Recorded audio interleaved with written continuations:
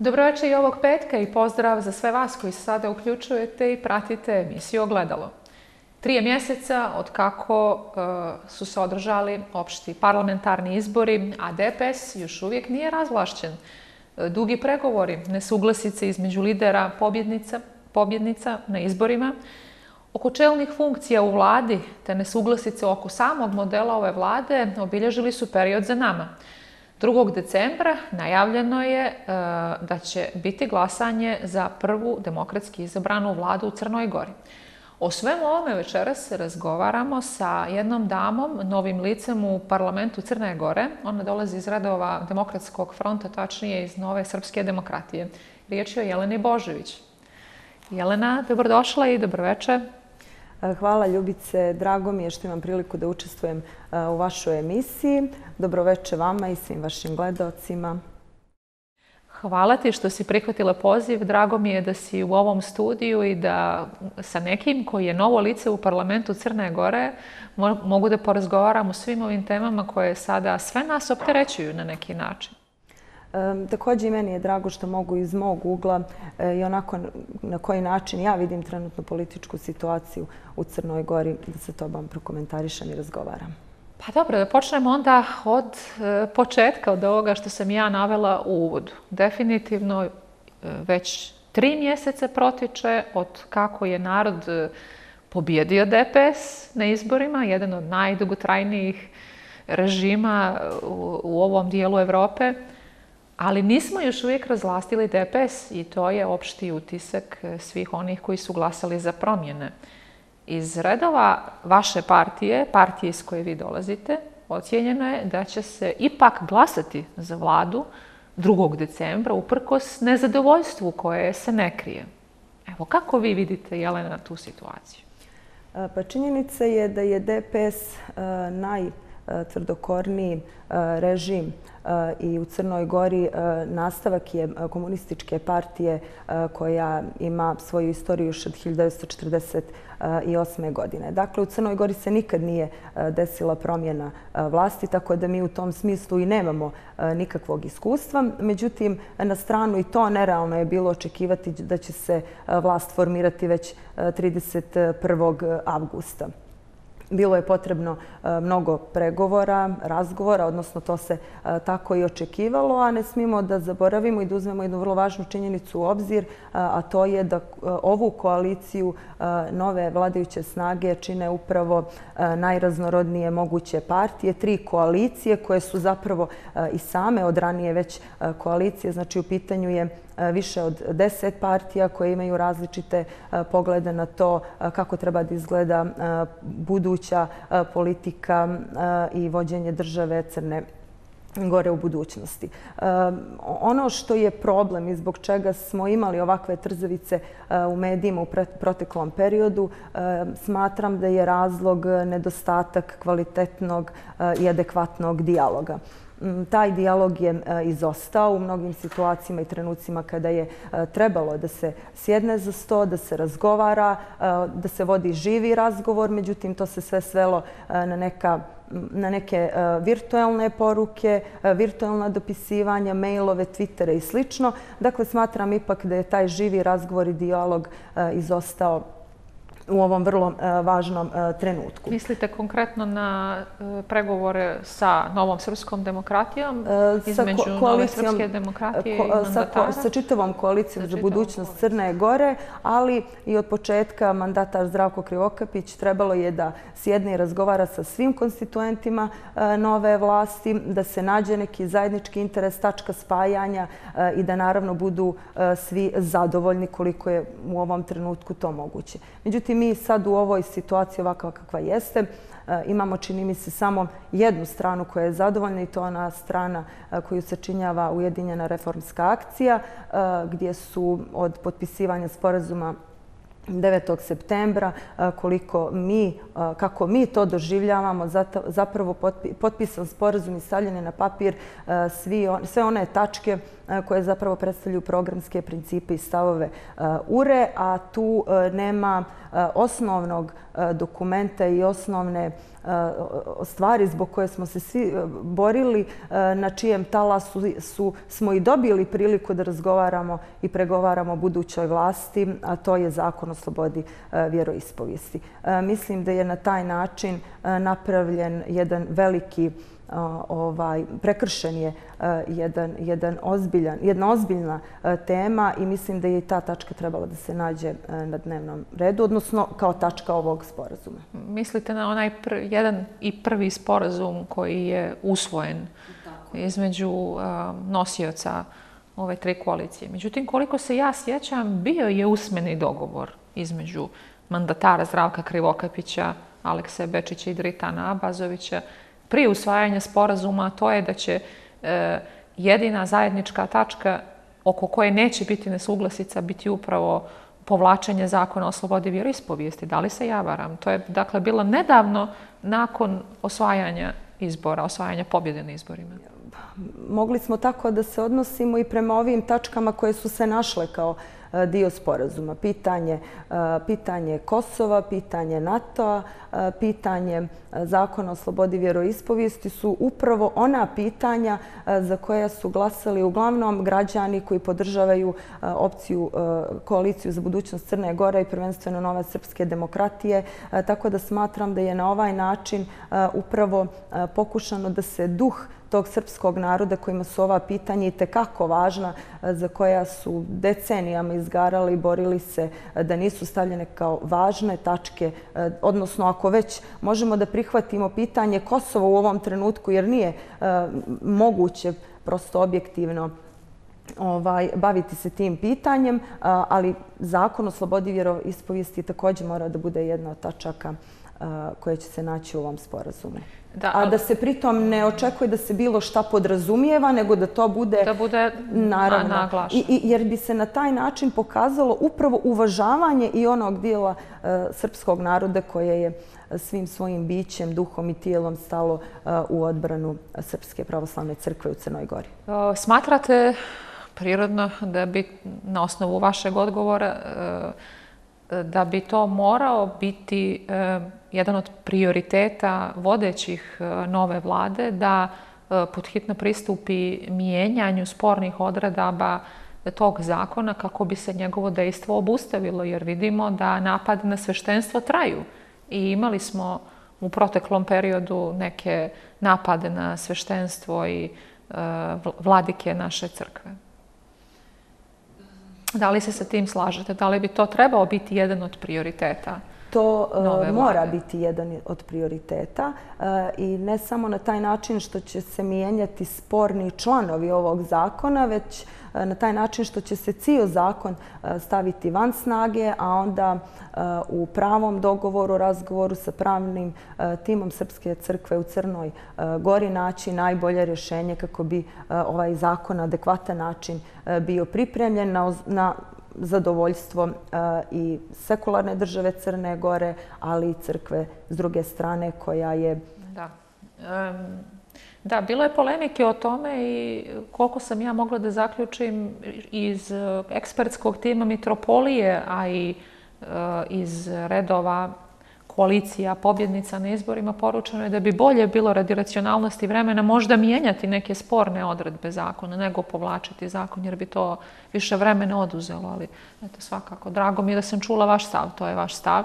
Treba zakon obustaviti i to je, to je ono iza čega šta vi smatrate da je najbolje u ovom trenutku, ili tako? Naravno, da se zakon u potpunosti povuče, onda nije to duga procedura, čekali smo ovoliko vremena pa možemo i to u okviru nekih drugih e, djelatnosti i nekih drugih važnih pitanja u buduće sačekati taj zakon da se pripremi onako kako svi očekujemo. Da, e, nezadovoljstvo sporazumom u demokratskom frontu je očekivano, ali nije samo sporazumom i tačkama na sporazumu, već i zahtjeve koalicije Dritana Abazovića da trojica lidera ne budu na čelu, na čelu izvinjavam se, bezbjednostnog sektora je također izazvao nezadovoljstvo. A u ranijim pregovorima vidjeli smo da ni demokratski front, ni koalicija Crno na Bilo ne odustaju od tog bezbjednostnog sektora. Evo, kako vi vidite tu situaciju? Da li smatrate da e, zašto nam je neophodan bezbjednostni sektor i da li smatrate da je možda demokratski front trebao da prihvati tu situaciju i da e, se brine da Eh, ima eh, pod svojom ingerencijom neke druge resore, možda značajnije za srpski narod, kao što su prosveta i kultura? U ovom prelaznom periodu formiranja vlasti mislim da je ipak eh, ovaj sektor bezbjednosti najvažniji. Što se tiče gospodina Abazovića, prvo moram da se osvrnem na to da iako oni e, zagovaraju u punom e, smislu deklarativno e, princip demokratije, moram da prokomentarišem da se zapravo on oglušio o taj princip kada su pregovori u pitanju, pa i ovo pitanje koje se tiče bezbjednostnog sektora. Dakle, prije svega kako da kažem, ne uzima se u obzir ona velika podrška građana koji su dali, odnosno 133.000 glasova koji su dali podršku Demokratskom frontu, upravo zbog onih obećanja predizbornih i svega onog što je Demokratski front radio u proteklom periodu, a koji se tiču prije svega sektora bezbjednosti i svih onih radikalnih mjera koje je potrebno preduzeti kako bi se mnoga nepočinstva odlazećeg režima objelodanila. Dakle, tu u tim sferama se nalaze zapravo svi ti tajni dosijeji, svi oni, sva ona nepočinstva DPS-a i sve one radikalne mjere i rezove koje je potrebno sprovesti, a za koje Demokratski front u ovom trenutku smatra da bilo ko drugi ko bude preuzeo tako važne sektore neće imati ni političke, ni lične volje, hrabrosti da se tome suprotstavi i da objelodani ono, sve ono što su građani Crne Gore e, dajući podršku Demokratskom frontu i ovoj koaliciji e, očekivali. Kako tumačite onda e, ocjene koje smo mogli čuti evo, konkretno od visokih funkcionera pokreta URA, koji ne vide, ne vide razlog vašem nezadovoljstvu ako, recimo, Dritan Abazović bude, na primjer, potpredsjednik vlade ili Eh, bude zauzimao neku funkciju u vladi zato što oni smatraju da je koalicija za budućnost Crne Gore samim tim što je mandatar Zdravko Krivokapić, budući premijer, time zadovoljena i treba da bude zadovoljena. Jer iz vaših redova će eh, eh, nosilac funkcije imati najvažniju ulogu u vladi, bit će premijer. Mi trenutno u na političkoj sceni Crne Gore imamo jednu konfuziju koja se prenosi i na predstavnike političkih partija. Zato sam vas i pozvala, odlično, da razjasnite. I na predstavnike političkih partija. Možda nezahvalna mala uloga. Nezahvalna je uloga, ali evo ja sam Ljubica obećala da ću ovdje govoriti, samo iznijeti moje stavove, naravno, koji su bliski, samo ih možda malo drugačije sagledavam od mojih starih iskusnih kolega. Da, ja to zaista cijenim, naravno. Nastavi, Jelena. Mi imamo u Crnoj Gori jednu opštu konfuziju. Imamo, stvorila se konfuzija među ljudima koji pregovaraju, među koalicijonim partnerima, odnosa lidera partija prema gospodinu Krivokapiću. I sva ta konfuzija se na kraju prenosi i na građane. Tako da trenutno imamo jednu političku situaciju i scenu u Crnoj Gori koju niko ne umije da definiše. Stvorila se jedna apatija u narodu zbog te konfuzije i nema se osjećaj više onog poleta zbog pobjede. Nema više tog osjećaja, međutim, evo, Demokratski front je najavio da će 2. decembra definitivno izglasati i dati povjerenje vladi koju bude predložio gospodin Krivokapić. Međutim, mnogo je nezadovoljstava, mnogo je e, stvari koje nisu jasne, koje ni građani e, nisu očekivali. Imamo takvu situaciju gdje ni mi ne znamo za imamo e, predložene ljude koji će biti i pokrivati najvažnija mjesta u budućoj vladi, a mi ne znamo ko su ti ljudi.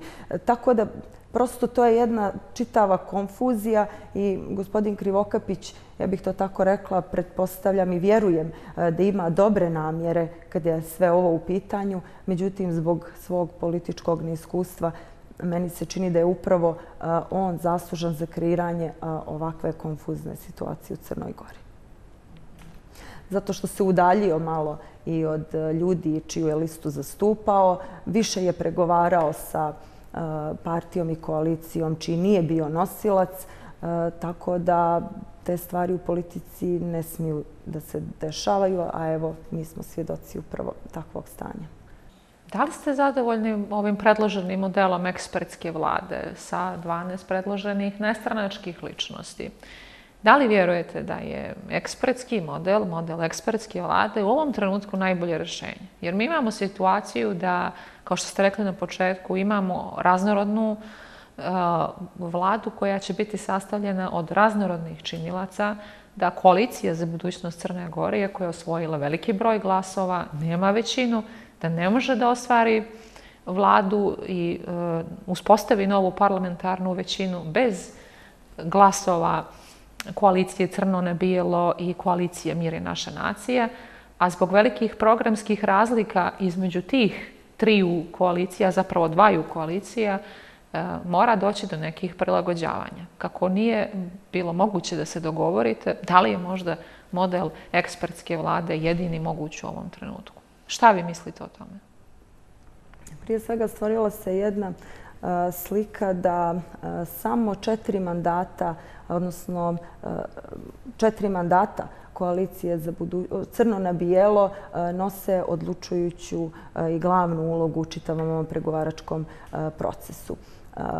Svako drugačije svako drugačije odigravanje u ovoj situaciji a odnosno e, mogući razgovori sa DPS-om od strane URA značilo bi e, izdaja građana. I URA i Demokratska Crna Gora i koalicija za budućnost Crne Gore dobili su ovu pobjedu na talasu obećanja da niko neće ići u koaliciju sa DPS-om. Dakle, to je bio jedan od osnovnih kriterijuma i poruka koje su poslate građanima. Tako da Eh, svi smo mi i svaki eh, mandat u okviru ove nove koalicije nosi istu težinu eh, kao, bez obzira na to, svih 41 poslanika ima istu težinu, istu snagu, bez obzira na to iz koje partije dolazi. Mislim da je bilo neophodno da se uvaži 130 3000 glasova koji su, e, kojima su građani dali povjerenje e, našoj koaliciji e, i da se u ovoj vladi nađu i ljudi za koje su građani glasali. Mi na ovaj, na ovaj način, biranjem ekspertske vlade, imamo buduće ministre koje prvo mi ne poznajemo. Drugo, ne poznaju ih građani. Mi, mi ih nismo građanima predstavili, niti su građani za njih glasali. Ova vlada, kako je zovu ekspertska vlada spasa ili čak i eksperimentalna e, vlada e, je nešto što niko ne može da zna kako će da izgleda. Sad imamo situaciju u kojoj u parlamentu treba da podržimo e, neke ljude koje mi zapravo ne poznajemo, treba da im ukažemo povjerenje i da se nadamo samo da će imati hrabrosti i volje da se izbore za sve ono što smo mi najavljivali. Tu se javlja i onaj osnovni, da kažem, problem, odnosno strah od toga da li ovi ljudi imaju političke i lične volje da se izbore sa svim onim što predstoji. E, problemi i izazovi su veliki, treba demontirati režim, a i bez tog izazova veliki su ekonomski problemi i zdravstvena kriza. Tako je. E, prvo, velika je hrabrost prihvatiti uopšte e, tako neku funkciju, a drugo, bojim se da ljudi koji do sada nisu bili aktivni u tom smislu i koji se politički već nisu negdje, negdje opredijelili sa ciljem da se bore protiv ovog režima, ja ne znam koliko oni imaju političke, a i lične, kažem, volje da do kraja sve ovo iznesu. Imali smo i situaciju gdje je bilo i odustajanje od nekih vrlo važnih funkcija, tako da je to za mene samo bio jedan pokazatelj da se ljudi već pred prvim nekim preprekama i pred prvim e, nekim situacijama koje im nisu po volji e, povlače. A šta će da rade tek u onim e, situacijama gdje budu nastupili baš pravi, pravi i ozbiljni problemi? Kakav je vaš stav? Da li bi vlada sastavljena možda od eksperata i političara mogla da bude možda bolje rešenje u ovom trenutku? E, pa možda bi bio i dobar da je to na samom početku definisano. Ili da bude ekspertska ili ekspertsko-politička ili samo politička, ali da se e, tih dogovora e, pridržavaju svi od samog početka. Onaj sporazum u kome se navelo da će vlada biti ekspertska, trebalo je bar da bude ispoštovan i sproveden do kraja. Mi sad imamo jednu situaciju u kojoj je gospodin Krivokapić najavio da niko sa poslaničkih lista ne može da bude u vladi, a sad imamo drugačiju situaciju u kojoj se Drita Nabazović, u kojoj je Drita Nabazović predložen za ministra odbrane i potpredsjednika vlade. Dakle, taj princip je na ovaj način narušen i to baš u onom trenutku kada su svi iz Demokratskog fronta prihvatili sporazum i stav e, mandatara za sastav nove vlade da u toj vladi neće biti e, političkih predstavnika. Smatram da bi e, možda najbolje bilo da se ispoštovala volja građana koji su dali na izborima i da svaka partija dobije određene resore, a onda da u okviru tih partija predsjedništva, glavni odbor ili kako je već čim statutima definisano, biraju i predstavljaju ljude koji će koji će predstavljati tu partiju, predstavljati građane i samim tim imali bismo situaciju gdje će ti ministri da odgovaraju građanima koji su im dali podršku za sve ono što su ili nisu uradili. Kako tumačite zahtjev američke ambasade, a mogli smo vidjeti i otvoreno pismo baš e, funkcionera iz predsjedništva, ja mislim baš vaše partije, američkoj ambasadorki koja je e, nezvanično e, tražila da lideri e, Demokratskog fronta ne budu na čelnim funkcijama u novoj vladi.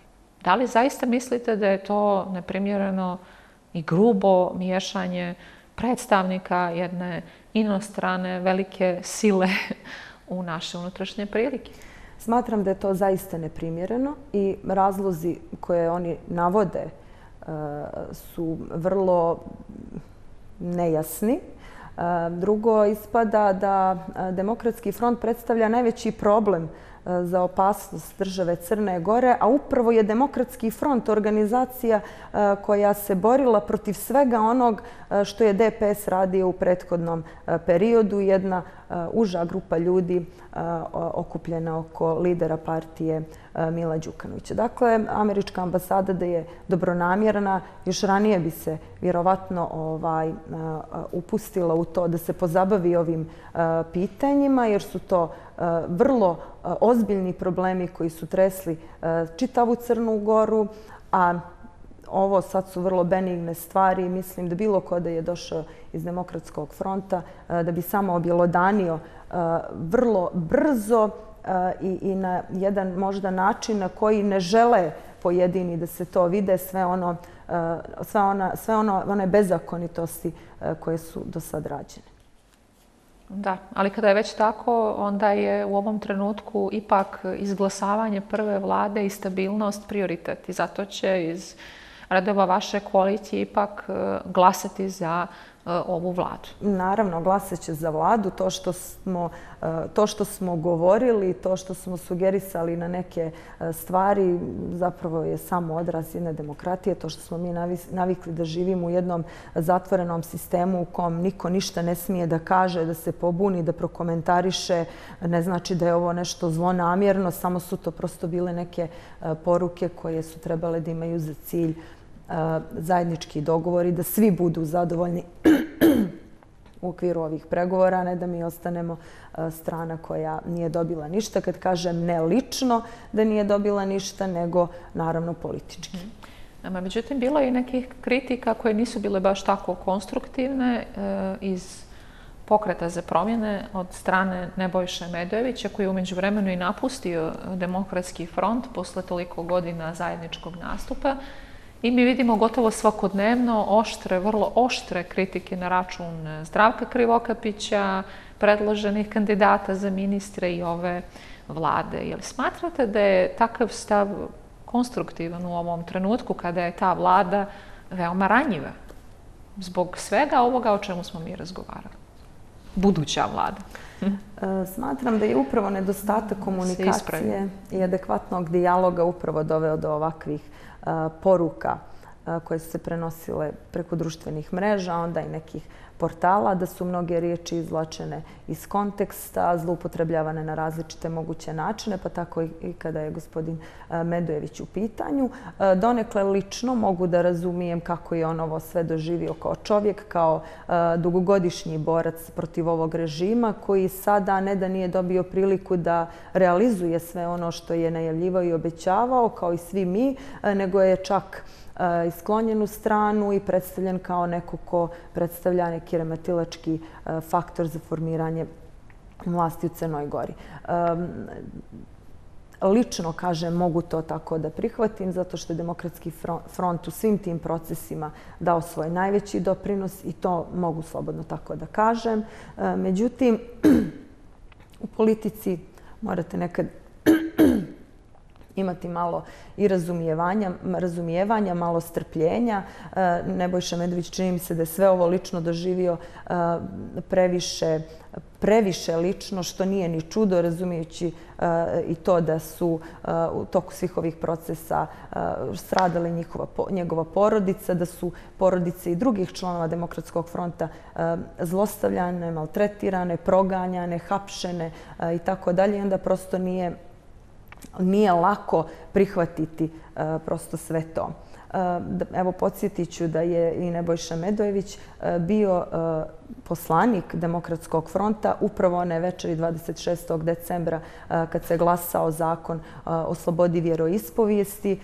On je bio tu ovaj, da zajedno sa nama stane na barikadu, da brani zakon, za razliku od nekih poslanika kojima to nije bilo u fokusu interesovanja političkog i bilo kog drugog. Nije da ga branim, e, mislim da je e, povlačio neke pogrešne poteze, mislim da DPS-u koji sve ovo vrijeme ne miruje, e, već ozbiljno radi na urušavanju urušavanju našeg, e, našeg integriteta, našeg imena, e, kompromitovanju naših ljudi. Dakle, sve se ovo radi vrlo planski, vrlo organizovano i mislim da im u ovom trenutku nije potrebno davati e, ikakvog povoda da oni nešto imaju da zloupotrijebe protiv nas.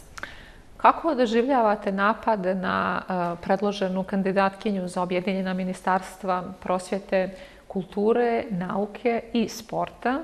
E, profesoricu Vesnu Bratić, e, koji dolaze ne samo iz ambijenta poražene e, nekadašnje većine, već i ovog ambijenta takozvane, takozvane građanske Crne Gore. Zanimljivo. Dakle, iz tog ambijenta, zajedno sa feminističkim organizacijama, konstantno se napada Vesna Bratić kao nepodoban kandidat. Kako vi to tumačite? Žena je ženi Vuk, reče Vesna Bratić u jednoj emisiji, odakle se izvukla njena e, rečenica u kom su ženske organizacije u Crnoj Gori prepoznale da nije dovoljno e, rodno senzibilisana. Ubrzo nakon toga si sama uvjerila u to.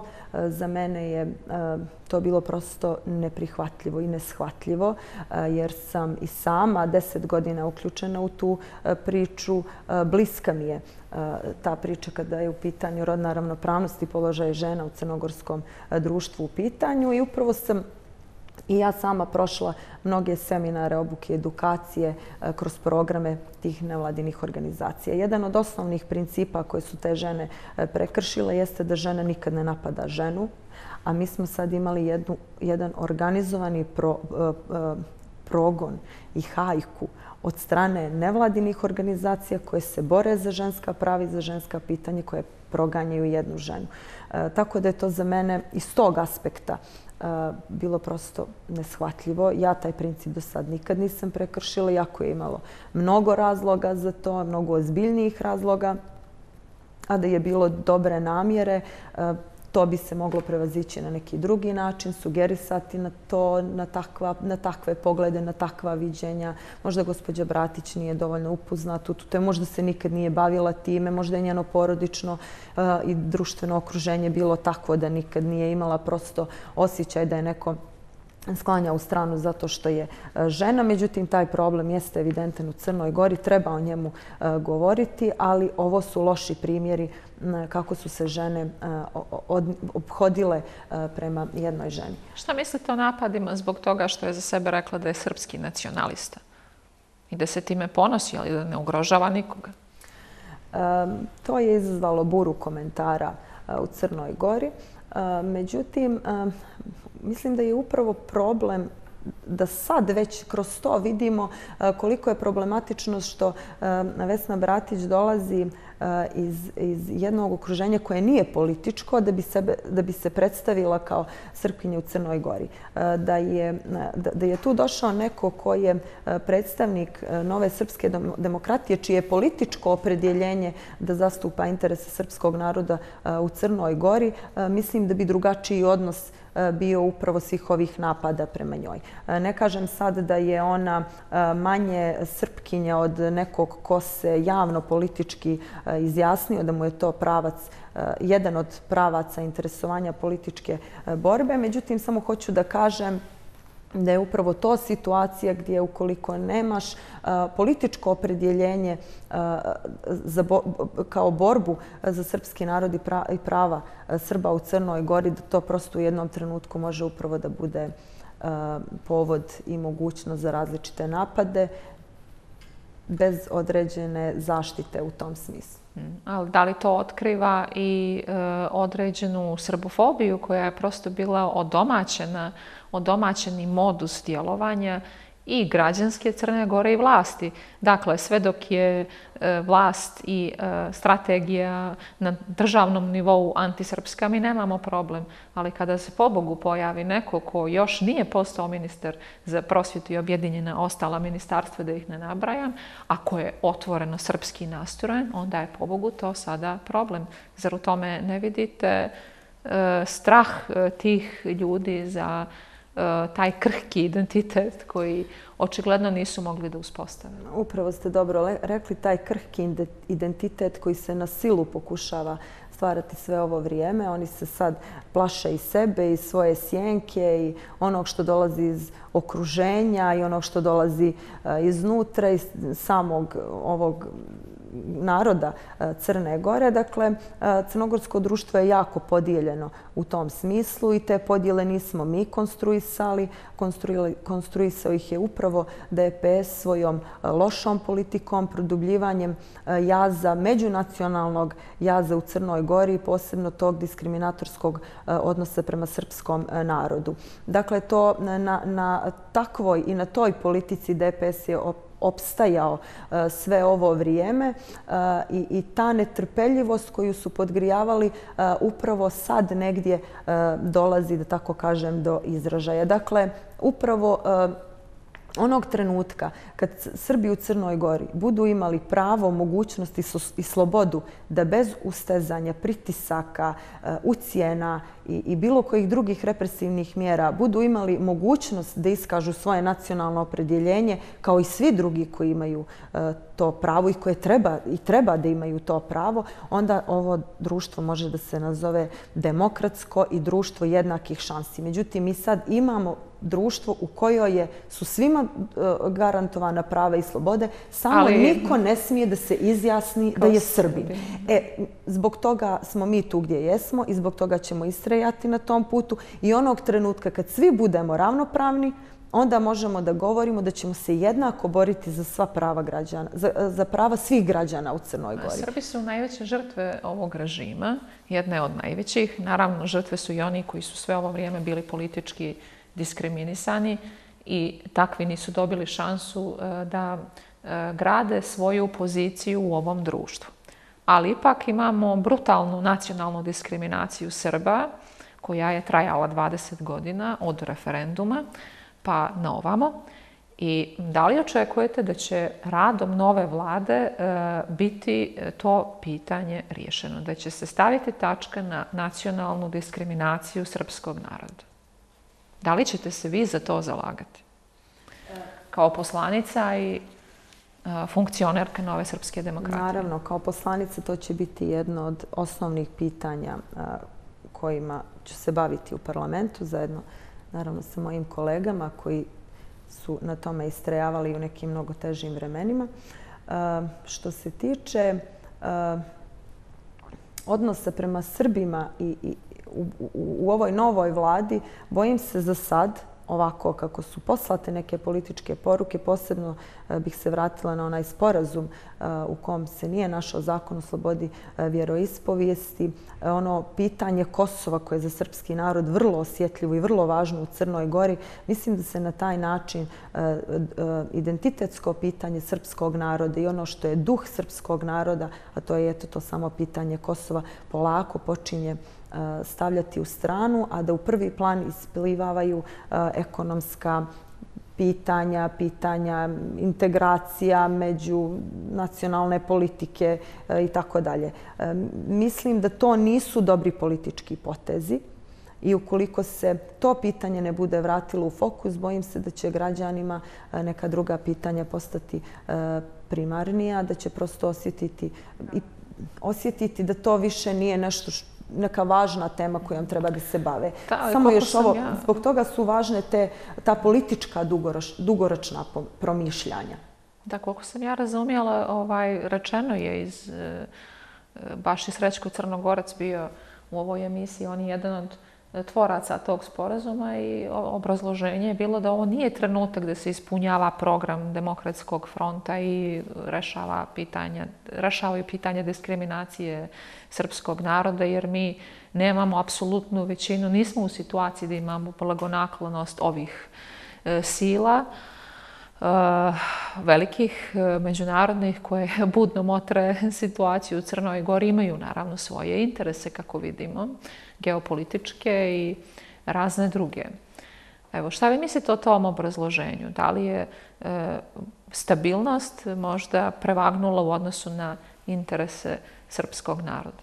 Prije svega ne znam koji je to onda trenutak u kom se treba govoriti o pravima srpskog naroda u Crnoj Gori. Ovo je baš taj trenutak, kao i svaki trenutak koji je bio koji je prošao, koji je za nami svaki onaj trenutak koji dolazi. Znači, sve dok imamo situaciju da je jedan narod u Crnoj Gori diskriminisan samo zato što se nacionalno izjašnjava kao Srbin ili kao Srpkinja, za mene je to i tekako ozbiljna stvar i, i tekako je jedno od prioritetnijih pitanja kojima treba da se bavimo. Ne, ne razumijem kome to smeta jačanje i dobijanje prava i davanje prava srpskom narodu u Crnoj Gori. Čijim interesima to škodi? Mislim, ovo su e, ljudi koji ovdje žive, koji kojima je ovdje i kuća i ognjište i porodica. Tako da mislim da je upravo i ovo i svaki trenutak koji nam bude dolazi koji bude pred nama pravi trenutak da o toj temi govorimo i da se borimo za prava srpskog naroda u Crnoj da, Gori. Naravno, da. E, da, nažalost nije trenutak da preispitujemo odluke o Kosovu i o NATO-u. To su odluke koje su donešene u mandatu režima Mila Đukanovića. Ali pitanje je da li je to možda baš trebalo biti tako očigledno stavljano na taj sporazum? Da, to je veliko pitanje i pitanje je šta se time željelo postići. Da se vratimo na važna, druga važna pitanja, a to je upošljavanje kadra po dubini. Ja se nadam da ćemo imati vremena da porazgovaramo o tome, jer vidjeli smo da sada u novoj nestranačkoj vladi treba ipak po ovoj takozvanoj dubini, molim vas i to da objasnite građanima šta to znači, na koje se to sve resori i funkcije odnosi, da će biti upošljen kader e, koalicija i partija koje su pobjedile na izborima i njihovo biračko tijelo. Međutim, imamo veliki broj nezaposlenih ljudi u Crnoj Gori koji su sve ove godine bili marginalizovani jer su Srbi, jer su se protivili ovoj politici, jer su nisu htjeli da ćute, jer nisu glasali DPS na kraju. Šta je sa tim ljudima? E, da li možemo očekivati da e, će e, biti upošljeni svi oni koji godinama na birovu čekaju svoju šansu za radni odnos ili će prioritet biti davan partijskim kadrovima? E, koliko ja znam, to je samo još uvijek u najavi. Ništa nije dogovoreno po tom e, pitanju. Ja sam čak i reagovala na jednu izjavu zdravka, e, gospodina Zdravka Krivokapića u kojoj je rekao da će ministri sami birati timove, saradnike i ljude koji se njima žele da sarađuju. S druge strane, e, uz to je išla izjava da e, on nikom ništa nije obećao i da on nikom ništa ne duguje. E to je e, ona prelomna tačka koja razdvaja gospodina Zdravka Krivokapića i nas koji nismo obećavali samo sad, nego smo obećavali godinama unazad, da onog dana kad mi dođemo na vlast... Vašem biračkom tijelu. Naravno, našem biračkom tijelu, da će se stvari u mnogome promijeniti u odnosu na to kako je bilo stanje dok je bio DPS na vlasti. Kad čujemo izjave, neće biti revanšizma, DPS ima dobrog kadra koje treba iskoristiti i tako dalje, to je nesumnjivo. Međutim, ako čujemo poruke da će se zapošljavati oni koji ispunjavaju zakonske uslove, da steknu, da, da dođu do određenih uh, visokih funkcija, da li su to sekretari, direktori, zamjenici direktora i tako dalje, po važećim zakonima Crne Gore, uh, onako kako ih je DPS pripremio, Nažalost, za to su potrebni... mnogi ne ispunjavaju uslove. Naravno, mnogi ne ispunjavaju uslove jer to podrazumijeva položen radni državni, staž. položen stručni radni staž u, u, u svojoj djelatnosti, u svojoj struci, određeni broj godina radnog staža i tako dalje. Dakle, to su odmah neke prepreke koje ljudima koji su godinama na zavodima za zapošljavanje ili su morali da rade neke druge poslove koji se ne tiču e, njihovog e, obrazovanja da zarađuju za život. E, zbog toga je neophodno promijeniti te zakone što prije kako bi svi na tržištu rada dobili priliku da konkurišu. To je stav vaše koalicije i vaše partije, ili tako? Tako je, naravno to je, to je prosto neophodno, zato što ako se taj zakon ne bude promijenio, mi, osi, mi jedino među tim kadrovima imamo i dalje ljude koji su za vrijeme vladavine DPS-a sticali i, i, da kažem, i iskustvo i određene te Imaćemo svakako nezadovoljstvo. Imaćemo nezadovoljstvo. E, ispratila sam i potez novog predsjednika opštine Tivet koji je odmah otpustio 30 od 100 administracije prethodne vlasti koja je tu bila upošljena praktično ne zbog e, potrebe e, te opštine, nego zbog e, vjerovatno upošljavanja budućih glasača te vlasti. Znamo da je to bio model DPS-a, oni to nikada nisu krili i Znamo za njihovu formulu jedan zaposleni četiri glasa koja nas je dovela do toga da praktično više od pola države nije moglo da se nikada zaposli u administraciji i da je administracija i državne službe i javne ustanove bile rezervisana samo za glasače DPS-a i njihove porodice. E, da li vam se dopada potez otpuštanja tih kadrova kojima je, koliko sam ja vidjela, vlast e, planira u Tivtu da isplati otpremnine? I da li smatrate da bi to možda bio dobar model i na državnom nivou, da se jednostavno otpuste takozvani uhljebi, oni koji su zapošljavani svih ovih godina kao e, neki balast i kao budući glasači i da se na njihova mjesta jednostavno postave ljudi koji nisu dobili šansu, a imaju obrazovanje, imaju kvalifikacije, žele da rade i mogu da doprinesu. Um svi građani koji su glasali protiv režima eh, DPS-a, eh, režima Mile Đukanovića i njegove vladajuće organizacije do sada, eh, žele pravdu. Pravdu i mogućnost da i oni dobiju šanse onakve kakve kao građani Crne Gore zaslužuju. Jedna od tih je upravo i ovo. Tako da pozdravljam ovaj potez E, novog predsjednika opštine e, Tivat i smatram da je u svim opštinama i u čitavoj javnoj upravi potrebno uraditi sistematizaciju, racionalizaciju e, radnih mjesta, da se vidi ko gdje radi, da li je za određenim ljudima i kadrovima negdje potrebno da tu budu ili nije, da li negdje ima viška ili nema i posebno se osvrnuti na sve ove koji su nezakonito zaposleni u ovom periodu od 30. avgusta do danas. Mhm, da, bilo je takvog upošljavanja i masovnijeg. Naravno, baš smo pratili, bilo je tih oglasa raznih konkursa, znači radi se očigledno o političkom ispunjavanju predizbornih Eh, obećanja. Eh, nakon toga eh, u Crnoj Gori imamo jedan veliki problem da se sve svodi na državnu administraciju i na turizam to je jedan ozbiljan problem sa kojim će ovaj, morati buduća vlada eh, da se susretne, a to je da vidimo na koji način one ljude eh, koje će otpustiti. Eh, naravno, ako ljudi svak želi da radi, svak želi da živi, to mu je ustavom zagarantovano pravo da živi, da bude koristan i da nešto doprinosi zajednici. Nije normalno da se bilo kome iz bilo kog razloga uskraćuje pravo na rad.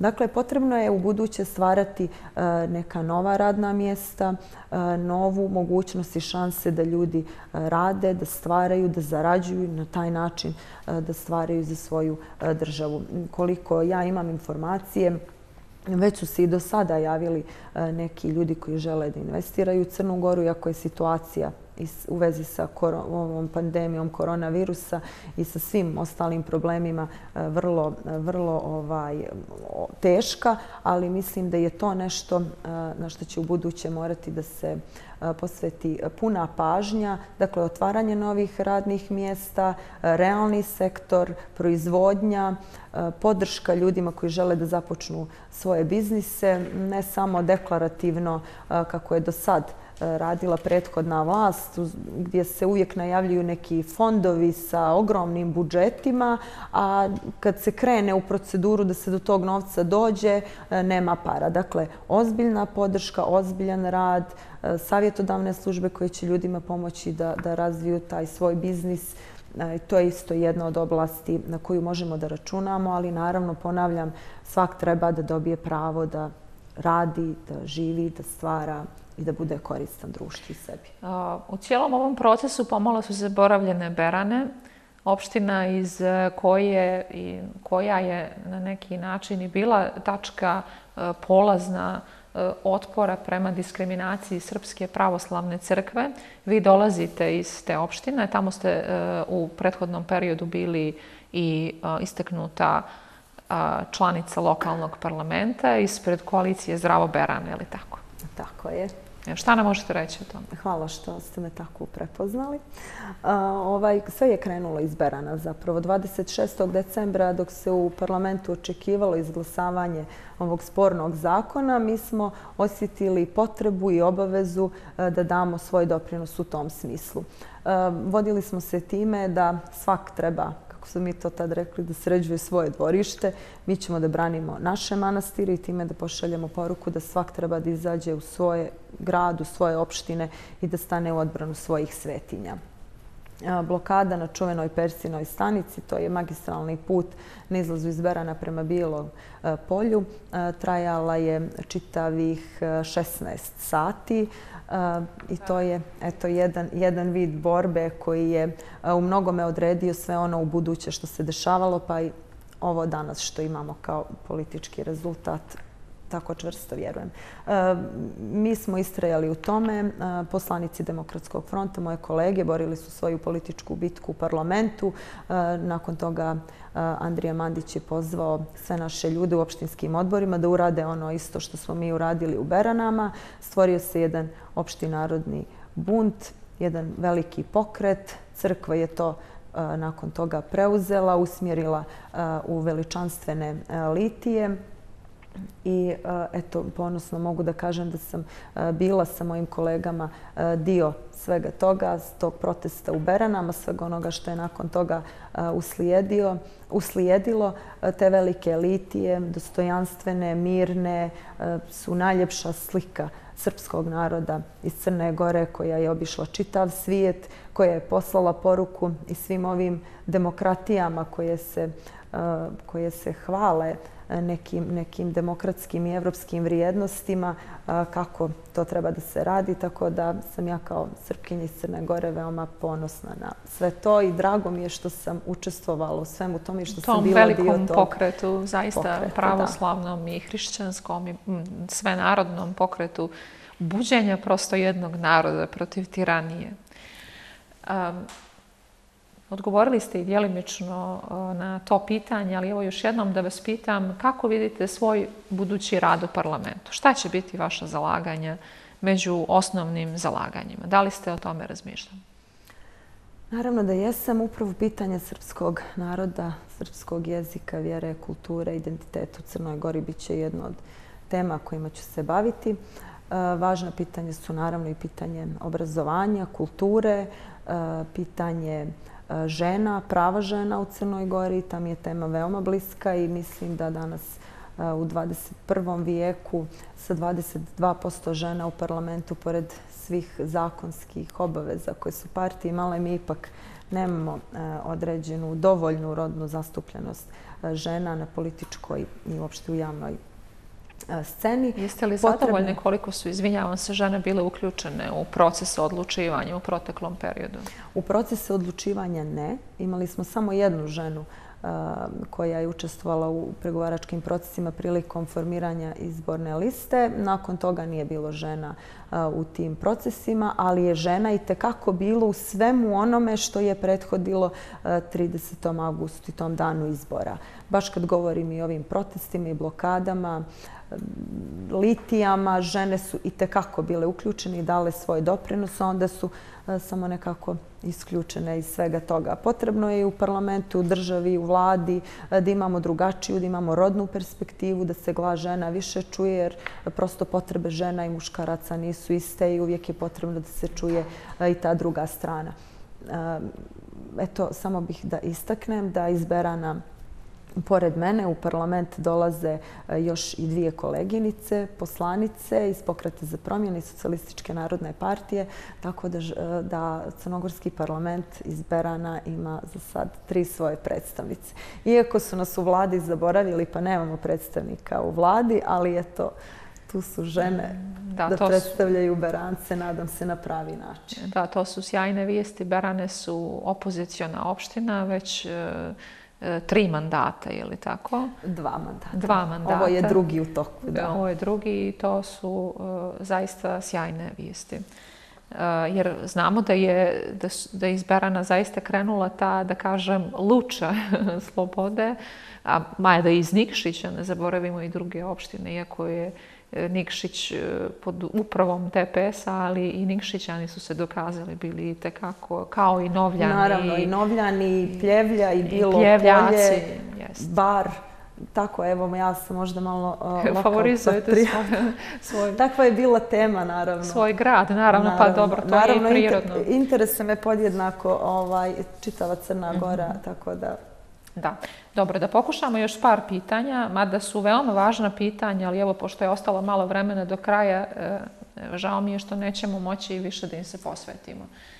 Eh, kada razgovarate sa građanima o tome šta, šta očekuju prvo od nove vlasti, svi kažu pa da se ljudi zaposle, a druga stavka je očekujemo pravdu.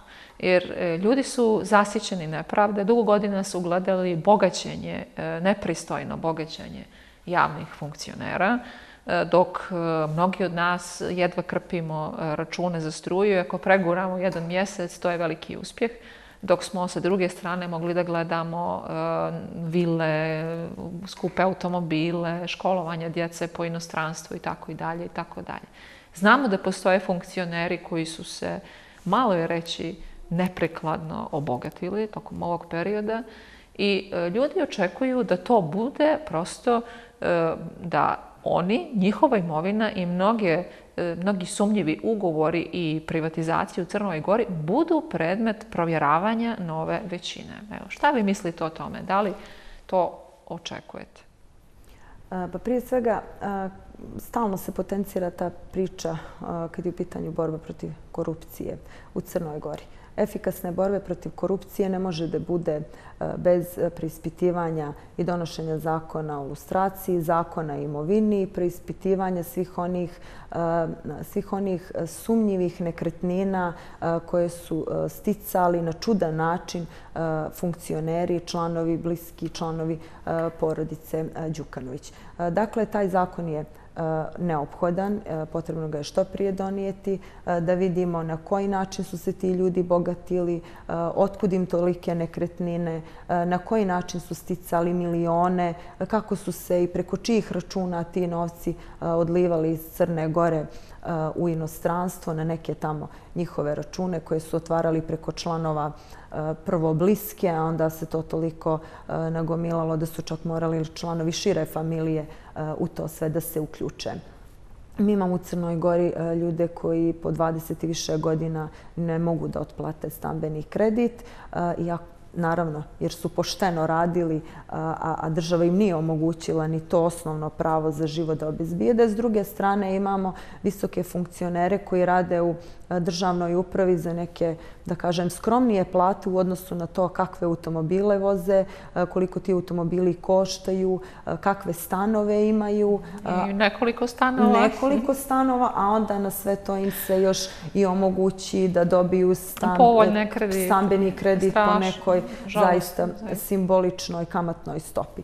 Tako da je to sve nešto što će morati da se preispita kako bi se pravda zadovoljila, kako bi se uspostavio neki pravni sistem i kako bi se, e, ovo je vrlo važno, kako bi se poslala poruka svim onima koji i sad su došli na vlast i koji će u buduće dolaziti na vlast, da ne mogu da rade stvari koje nisu zakonite i koje su na štetu građana, jer će, za to biti, jer će zbog toga biti sankcionisani i za to će odgovarati. Ako se to sad ne bude uradilo, to se samo šalje poruka, pa dobro, evo radili su i moji prethodnici, niko ih nije dirao, što i ja da malo ne pokušam da iskoristim. Da bi se zaista osjetila promjena, mora se raskinuti sa prošlošću, bivšom, lošom, pokvarenom politikom koja nije bila dobra. Zaista bez toga mi nećemo imati promjene, već kontinuitet. A ja zaista ne sumnjam da ćemo imati promjene, naravno.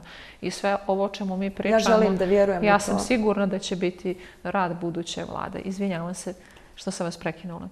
Izvinjavam se, ja prekinula sam, prosto sam ovo doživjela kao stvarno jedan ovaj opušteni razgovor. E, dakle, ja stvarno vjerujem u to i evo daćemo šansu budućoj vladi, onda ćemo da vidimo da li će sve biti onako kako i mi očekujemo, onako kako smo mi politički obećali, jer to nosi jednu vrlo ozbiljnu težinu sa sobom, a i naravno da, da građani budu zadovoljni, da se zadovolji pravda i da osjete da, je, da vrijedi sve ono zašto su se godinama žrtvovali. Da, kada smo kod toga, evo jedno pitanje važno za lidera Demokratskog fronta, tiče se svjedočenja Paje Velimirovića i e, koji je nakon svih ovih godina i poraza DPS-a odlučio da progovori da je njegovo svjedočenje bilo, gle čuda, lažno. Eto, mi smo to i pretpostavljali negdje i znali smo da je cijela ta afera politički motivisana, ali na sramotu pravosuđa i cijele javnosti mi imamo optužnice i imamo ljude koji čame u zatvorima e, zbog takvog suđenja. Kakav je vaš komentar o svemu tome? Pa je Velimirović i ranije govorio o tome, međutim, evo sad ovaj posljednji iskaz ovaj, jasno je posvjedočio da je pod pritiskom e, tužilaca Milevoja Katnića i Saše Čeđenovića morao lažno da svjedoči o državnom udaru e, protiv lidera Demokratskog e, fronta.